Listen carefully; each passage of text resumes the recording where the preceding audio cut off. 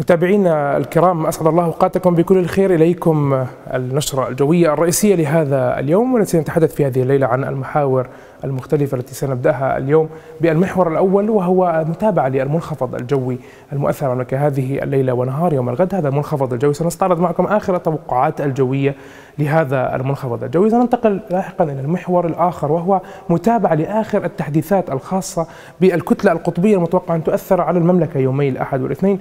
وحتى ربما يوم الثلاثاء ونختم هذه النشرة بالتوصيات الهامة. سيكون هناك محور خاص لهذا الأمر بشأن التعامل مع الحالة الجوية المؤثرة على المملكة خلال الأيام القليلة القادمة. إذا المملكة تقع ضمن تأثير منخفض جوي. هذا المنخفض الجوي بدأ تأثيره خلال ساعات نهار هذا اليوم مصنف بأنه من الدرجة الثانية وهطرت بحمد الله أمطار جيدة في المنطقتين الشمالية والوسطى وبعض المناطق الجنوبية من المملكة كما تساقطت بعض الزخات الثلجية خلال ساعات نهار هذا اليوم فوق المرتفعات الجبلية العالية. استقر الطقس في ساعات العصر والمساء. نلاحظ هذا الأمر عبر خرائط المحاكاة الحاسوبية للأمطار. نلاحظ أن مع ساعات مساء هذا اليوم معظم مناطق المملكة خالية تماما من تواجد للهطولات المطرية سوى بعض الهطولات المحلية الموجودة في جنوب وأيضا شرق المملكة. ولكن مع دخولنا في ساعات هذه الليلة خاصة مع وصولنا لساعات منتصف الليل نلاحظ بدء وتحرك هذه الأمطار وحزمة الأمطار بحسب نماذج المحاكاة الحاسوبية إلى المناطق الشمالية والوسطى. إذا يتوقع هطول الأمطار في ساعات هذه الليلة التي قد تكون مترافقة. أحيانا مع حدوث الرعد ولكنها بمشيئة الله ستكون مترافقة مع تساقط لزخات من البرد أحيانا وعلى آه، فترات. كساعات صباح يوم غد السبت تشتد الهطولات الأمطار. إذا بعيد منتصف الليل والصباح يوم غد السبت هي آه، أمطار غزيرة ذروة لهذه الحالة الجوية. بالتالي أمطار غزيرة في المنطقتين الشمالية والوسطى تساقط لزخات من البرد تمتد بعض الهطولات المحلية نسميها فوق الجبال الجبلية الجنوبية كما لا يستبعد أن تهطل بعض الزخات الثلجية آه، فوق المرتفعات الجبلية العالية الشمالية والوسطى.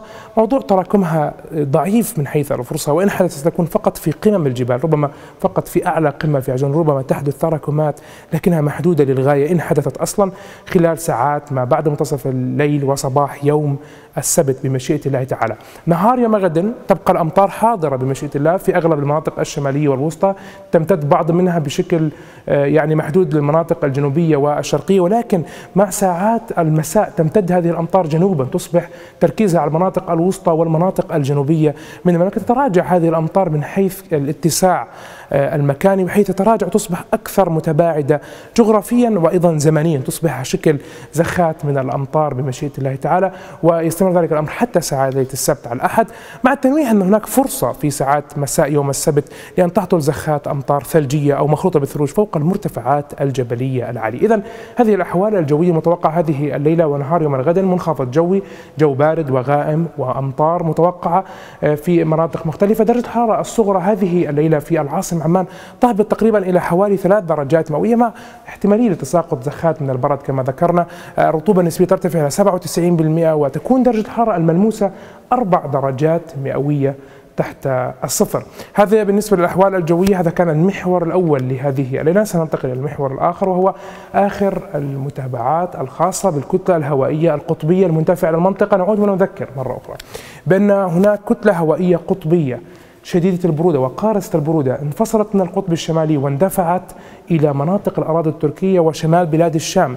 هذه الكتلة الهوائية القطبية تسلك مسار قاري أي بمعنى أنها لا تعبر مسطحات مائية واسعة وبالتالي تجعلها محافظة على خصائصها القطبية بالرغم من بعدها عن القطب الشمالي.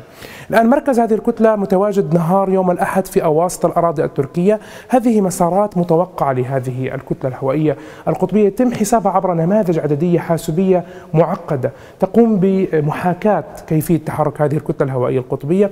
تحدثنا معكم في النشرات السابقة على المسارات المتوقعة. اليوم هناك تحديث لهذه المسارات. أصبحت معظم هذه المسارات تشير إلى تحرك هذه الكتلة باتجاه الجنوب الشرقي باتجاه الأراضي العراقية خلال الساعات القادمة تحديدا يومي الأحد والاثنين.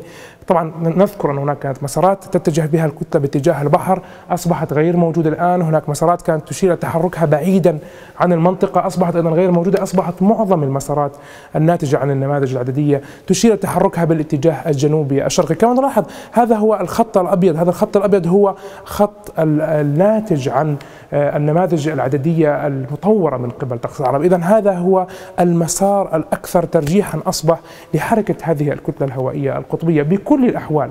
هذه الكتلة كتلة قطبية شديدة قارصة البرودة ستؤثر على كامل مناطق بلاد الشام وتؤدي إلى يعني تأثيرات آه، مباشرة آه، وغير مباشرة بحسب المنطقة. هناك حتى ربما تصل هذه التأثيرات إلى العاصمة الرياض. تنخفض درجات الحرارة في المملكة العربية السعودية إلى ما دون الصفر المئوي منتصف الأسبوع. أيضا العاصمة العراقية بغداد ربما تتعرض لتساقطات ثلجية لأول مرة منذ سنوات طويلة جدا. كما أيضا يصل هذا الأمر للمملكة وبلاد الشام على شكل درجات حرارة منخفضة للغاية وغير معهودة دون الصفر وموجة من الجليد والانجماد. هذه التأثيرات المتوقعة لهذه الكتلة الهوائية القطبية. نصعد معكم إذا المحاكاة. الحاسوبية لدرجات الحرارة والتأثيرات عليها. إذا هذه درجات حرارة الطبقات القريبة من سطح الأرض. كما نلاحظ هذه الألوان القاتمة باللون الأزرق هي درجات حرارة قياسية من حيث البرودة متواجدة الأحد في ساعات الصباح فوق شمال الأراضي السورية. تبدأ بالتحرك التدريجي جنوبا باتجاه الأراضي العراقية. ولكن كما نلاحظ تأثيراتها تصل إلى المملكة وتستمر بالتحرك جنوبا إلى أن تصل وتجتاح المنطقة كاملة حتى أن المملكة تقع كاملة ضمن نطاق درجات الحرارة المنخفضة للغاية. وأيضا ننوه بأن تأثير هذه الكتلة سيكون على الأردن على شكل أجواء جليدية باردة مع فرصة لتساقط زخات ثلجية عشوائية سواء يومي الأحد أو الاثنين في مناطق متفرقة من المملكة لا سيما المرتفعات الجبلية ولكن الفرصة الأكبر لحدوث تراكمات لهذه الثلوج ستكون فوق جبال الشراء في جنوب المملكة كنتيجة لدخول تيارات بحرية رطبة تعمل على تساقط ثلج متراكم فوق المرتفعات الجبلية العالية الجنوبية. إذا الأحوال الجوية المتوقعة بمشيئة الله تعالى في المملكة خلال الثلاث الثلاثة أيام. القادمة يوم السبت الطقس بارد مع هطول الأمطار تساقط الزخات البرد. درجة الحرارة 6 درجات مئوية نهارا تنخفض إلى درجتين مئويتين ليلة السبت على الأحد. مع فرصة كما ذكرت لهطول بعض الأمطار الثلجية في ساعات ليلة السبت على الأحد. نهار يوم الأحد درجة الحرارة العظمى في العاصمة عمان ثلاث درجات مئوية فقط.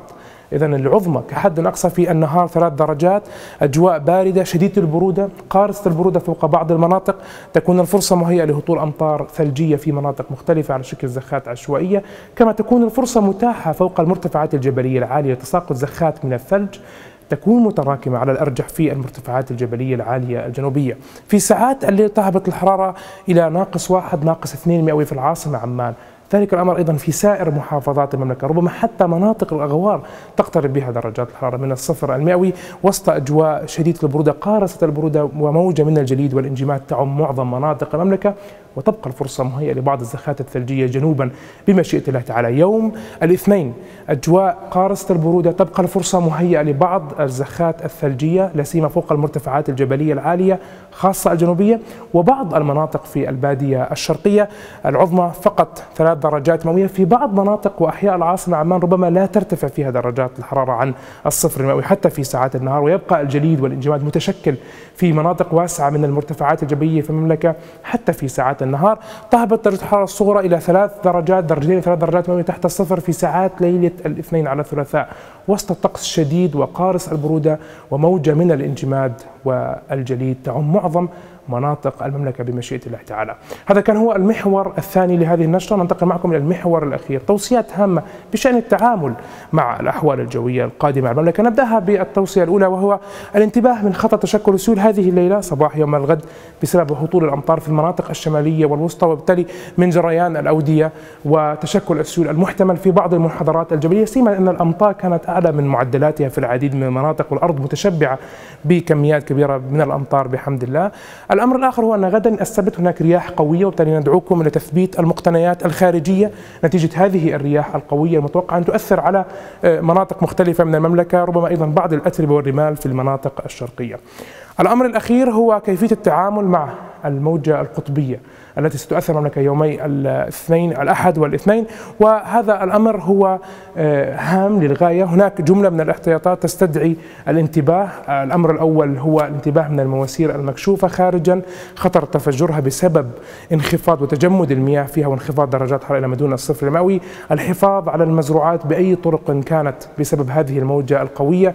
إخواننا في المناطق الأغوار الانتباه بأن حتى مناطق الأغوار ستكون ليست بمنأى عن تأثير هذه الكتلة الهوائية. القطبية وبالتالي ندعوكم للانتباه من خطر تدني درجات الحرارة إلى ما حول الصفر المئوي حتى في بعض مناطق الأقوار. أيضا ندعوكم الانتباه في الاستخدام الآمن لوسائل التدفئة بسبب هذه الأحوال الجوية الباردة. شهدنا العديد من حالات الاختناق وندعوكم حقيقة إلى الانتباه بأن يكون هناك استخدام آمن لوسائل التدفئة في ساعات الليل أو حتى في ساعات النهار. الانتباه أثناء المسير على الطرقات بسبب حدوث الانجماد والجليد في مناطق مختلفة من المملكة أو حتى أثناء المسير على الأقدام ابتعاد عن المسطحات المائية كونها ستكون ربما متجمدة في بعض المناطق وحتى الانتباه لمركباتكم بوضع مانع للتجمد فيها حتى لا تحدث أي أضرار بسبب هذه الموجة من الانجماد والجليد. هذا كان كل ما لدينا في هذه النشرة الجوية الرئيسية. طبعا زملائي الكرام في طقس عرب سيتابعوا معكم توقعات الأحوال الجوية في نشرات مختلفة. أعود وألتقي معكم في نشرات مقبلة. إلى اللقاء.